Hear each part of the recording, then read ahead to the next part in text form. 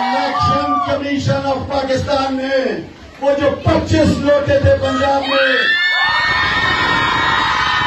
उन्होंने इमरान खान के साथ गद्दारी की। इस मुल्क के साथ गद्दारी की, अपना वोट बेचा ज़मीन फरोश हुए। अदालत ने उन्हें नाल करार दिया।